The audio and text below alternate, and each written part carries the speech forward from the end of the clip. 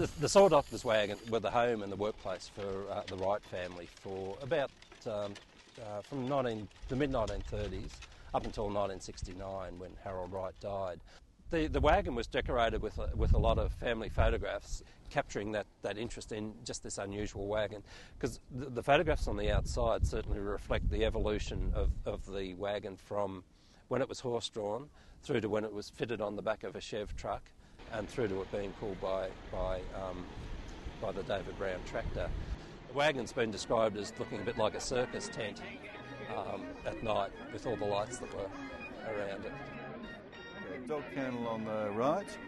In the middle, chicken coop with standard decoration here, yes, just in front of us. Just make here. it look nicer. Give it a bit of sparkle. for the eggs was um, over that is braised the and soldered items in. and right uh, underneath bits of brass, right bits of copper, bits of bronze, two axles. Um, that looks like is the a, other dog um, kennel. That's a line. It would have had it's a an example of. I mean, it's the, the, middle, ultimate so example. it could have been. Jean, which is Harold's uh, wife, she always make a cup of tea, and she'd always like to sit down and have a talk.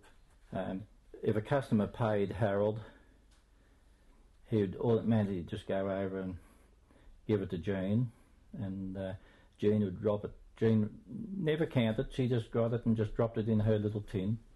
But he used to say if he was going anywhere and it gets middle of the day, it was a bit hot, he would pull in under a tree on the side of the road.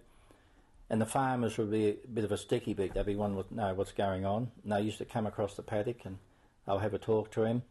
And they'll come back and 10 or 15 minutes later with their knives and their kitchen centrals, you know, and a couple of hand saws. And, and he'd be there sharpening them. And if it's a big job and he'll stay the night, occasionally uh, a farmer would pick him up and take him back to their place for tea and they'd have a shower. That's how they just sort of plodded around. I was fortunately the one who collected it, so I my first sighting of it was in a shed, dusty old shed outside Wangaratta.